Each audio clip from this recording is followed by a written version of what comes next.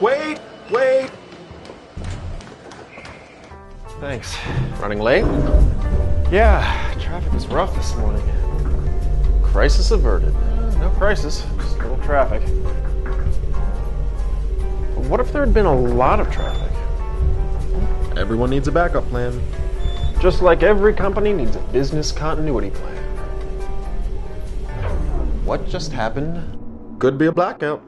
Completely unpredictable. Where did you get that? It's important to start your business continuity planning early. How long can you operate without core systems and processes? What if your entire network went down? No communications means no sales and lost Why customers. isn't this thing working? Finally. Recovery's good. But 75% of companies without continuity plans fail within three years.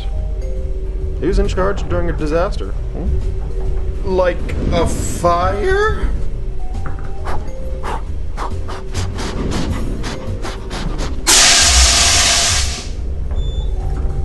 Identifying teams and assigning tasks is essential. Everyone needs to know their responsibilities. What's going on? It could be a hurricane. Hurricane? Weather can badly damage your assets. Planning better prepares your company to recover from any disruption. Why aren't you getting wet?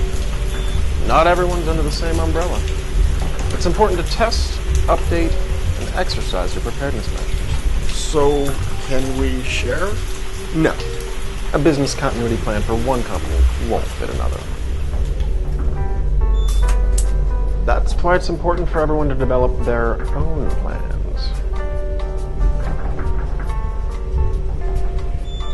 Why are you wearing a mask? Don't forget to plan for the human element.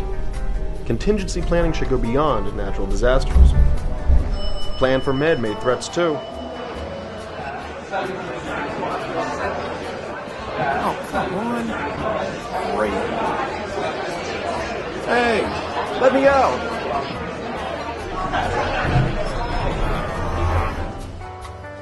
Will your continuity plan be in place when it matters most?